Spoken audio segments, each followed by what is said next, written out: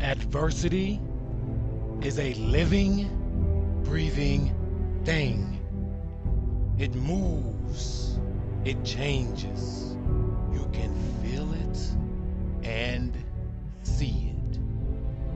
And if you allow it, it can consume everything you love. Tonight, we will face adversity. It takes an uncommon man to play this game because a common man can't take the punishment. He just can't take the hits.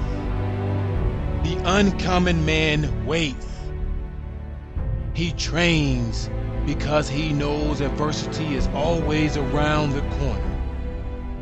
The uncommon man embraces the struggle. He knows it will define him. It will define his purpose and his direction. Tonight, I believe we're playing a good football team, a physical, tough team. I believe those same things about us. They may think they're ready based on what they've seen on film.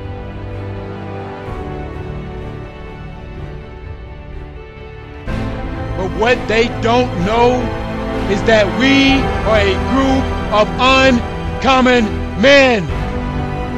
A group of men who are willing to put it on the line, play after play after play.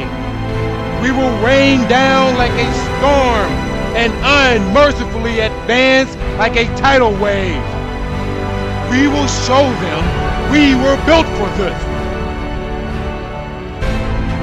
We are mentally and physically prepared. We're in this knowing it's going to be a battle. One of the most difficult things to do is face a group of men who share the same vision, who eat, sleep, and breathe the same vision, who surrender their will to that mission. I am Maurice Simpkins. We are coastal. We are uncommon men.